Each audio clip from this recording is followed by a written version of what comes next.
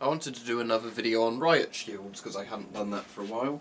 And riot shields are um, pretty practical things but how practical are they? Because obviously they're fairly big. And the thing is with these is that they come in obviously a lot of different shapes and sizes. And I think they're very you know differently suited for different things depending on what size you get. So the smallest ones you get are little round shield ones, I'm sure you've seen those a lot. And from what I understand a lot of police forces use those as sort of quick into action riot shields that they could keep in regular police cars or vans and the the officers wearing them don't necessarily need to have specialist gear on but they could use them with a normal baton or truncheon and the smaller round shields. Now the round shields seem quite practical because obviously it's probably using you know same logic as using a medieval very small round shield, lightweight, easy to move around but can obviously block incoming projectiles and blows and then you use your right arm or whatever to hit normally. Now obviously then you get the bigger and bigger sort of tower shields. So this tower shield is probably a bit under 5 foot, I'm not quite sure of the height of it. I've never actually measured it from tip to toe. But these are pretty good. This is actually called a high shield according to... Well, this is a bit weird because it says shield personal protective short and high. So, no clue if it's a short or high shield. But these are the armadillo type ones the British police use and a few other nations use. These are very good shields because they've got one front shield and they've got the reinforced sort of back shield. And the idea is, I'm guessing maybe the short one is the rear shield, the high one is the front shield. The idea by having two shields means that, see when the first one starts to break you've got a second shield and the second shield helps to absorb impacts that hit the first shield making the whole thing stronger. You'll notice a lot of the riot shields tend to have a smaller shield behind and the sort of front shield mounted to it.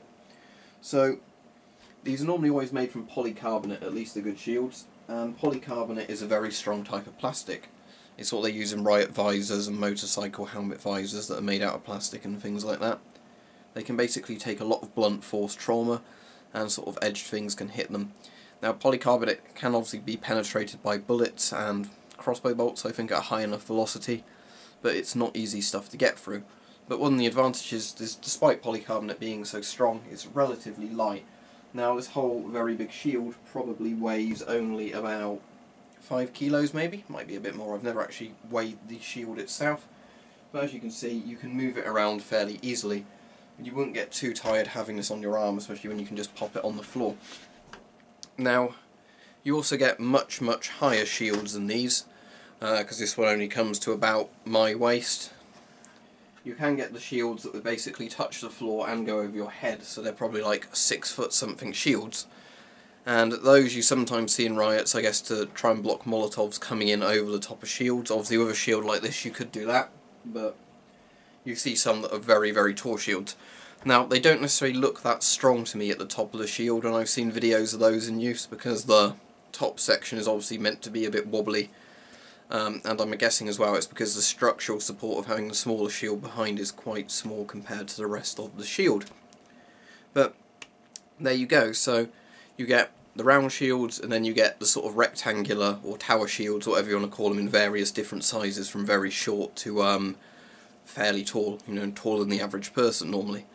Now, obviously the practicality of riot shields is something very tall probably becomes very unwieldy um, because the weight increases as does the size and obviously trying to move a very long piece of plastic. The trouble with riot shields doesn't so much seem to be their weight, it seems to be how they sort of almost pick up the air underneath them if that makes sense.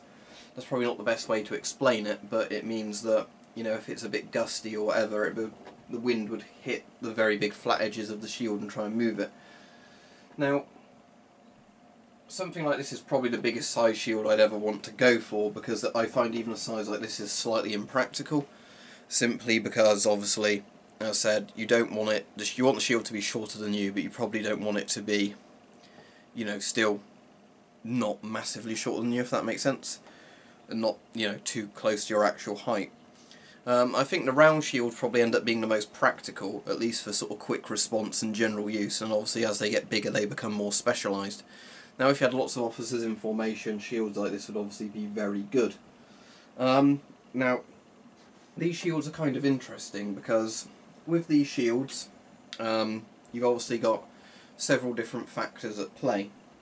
Now, obviously, what I'm trying to get out of this, because I'm stumbling a bit on what I'm trying to say, is that The sort of bigger shields, as I said, are clunkier to move around, but obviously they are much better in a bigger formation, whereas the shorter shields are much more mobile, but they're obviously often not going to offer nowhere near as good protection. It'd be very hard to kind of do a shield formation with lots of people holding smaller round shields than it would having lots of people, you know, holding these and advancing with these.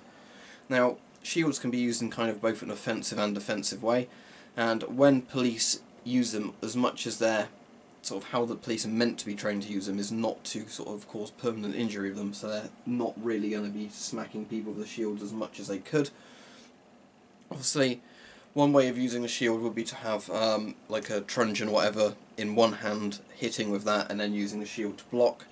You can also grip these shields lower down. Most of them have a secondary handle on, so you can hold them like that comfortably, or sort of grip them lower down.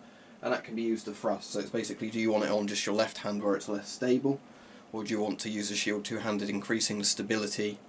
But you know, obviously, you can't wield a weapon in the other hand. Now, in terms of survival scenarios, I imagine shields would be very good for that, especially if you've got something more practical. You could probably mount a really strong flashlight behind one of these somehow, so you could actually kind of blind people as you walk forwards with a shield. Um, and obviously it will stop lots of incoming threats, like sort of bricks and slingshot things, lower speed arrows and everything like that. But the main thing I'd find quite interesting about these shields is in some sort of theoretical zombie type thing or 28 days later some sort of rabies virus. These shields would probably be quite good for that I'd imagine, simply because you can block somewhere and infected fluids can't hit you the other day. Shed Ninja was, um, not the, not hit you the other day, can't hit you with the shield in the way. I was going to say, Shed Ninja said to me the other day, you know, something quite interesting that I've always complained about is in loads of infection type things or movies like that, nobody ever seems to take precautions about getting hit with, you know, infected blood. They never have their visors down on helmets, they never have the shields out, you know, so fluids can't hit you. But in a thing where there's some sort of contagion in a fluid, I'm sure you could actually use the shield to stop yourself getting splattered by, you know, all the sort of projectile vomit and whatever else.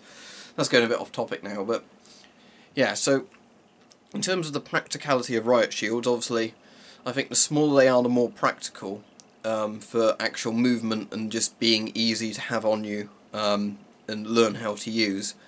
But the bigger shields are obviously more practical in terms of total defensive area. I think once you get to the absolutely massive tower shields, then they probably become very impractical. Um, for those of you interested, no, these can't stop bullets. As far as I understand, the polycarbonate like this can stop um, things like birdshot at a long enough range just because it simply doesn't have the sort of kinetic energy to get through a shield but it wouldn't stop you know handgun ammo or rifle ammo at all. You do get ballistic shields but they're generally made from I think both metal and Kevlar and they're generally much thicker and heavier. So a ballistic shield would be smaller, it would be much much heavier but then yes that could stop bullets but something like this would not stop bullets. It stops of course. Now, if you've not seen my videos um, on the practicality of these shields, then I'd advise you, well, practicality, but I've done a video where this shield is tested, just search Riot Shield on my channel and you'll find it, it's quite fun, we just had a mess about, you know, me holding the shield and getting kicked and punched and hit with melee weapons with the shield in front of me. Works surprisingly well. As you can probably see on this one, there's scorch marks, there's fittings where it looks like it's been hit by everything under the sun. Um, and the shield's still in good condition, there's a slight crack near the bottom of it somewhere. I don't know if that's going to be visible on camera. Um, but other than that, the shield is in very good condition. If you're interested in getting shields, they do sometimes turn up on eBay. I think you can order new shields from China, but good luck getting them through the customs in your country. I don't know how well that would work, and I don't know how good the shields are. Or you can do what I do, see when the ex-police shields are sale, uh, shields are on sale, get them for a sensible price and you can hopefully pay like I did about £30 for one of these and have a really big riot shield to play around with.